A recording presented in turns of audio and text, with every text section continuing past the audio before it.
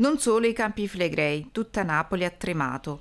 Paura e preoccupazione tra i cittadini. Il sindaco Gaetano Manfredi ha sentito il capo della protezione civile per un punto della situazione. Tanta paura, ma non sono stati segnalati danni alle strutture. Il sindaco con l'assessore Cosenza sta seguendo la situazione con massima attenzione. La gente si è riversata in strada soprattutto nella zona di Bagnoli, ma le tre forti scosse sono state avvertite distintamente in tante parti della città, tra cui anche la zona collinare.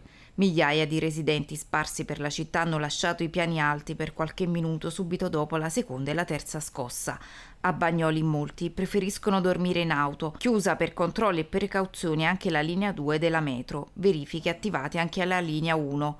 Oggi scuole chiuse a Fuorigrotta, Bagnoli, Pianura e Soccavo, off limits tutti gli istituti della nona e della decima municipalità per portare avanti verifiche sullo stato dei luoghi. Recintato un palazzo a via Diocleziano per una fuga di gas, i pompieri sono intervenuti tempestivamente sul posto e non escludono che il fatto sia da collegare allo sciame sismico. La periferia occidentale è stata quella più bersagliata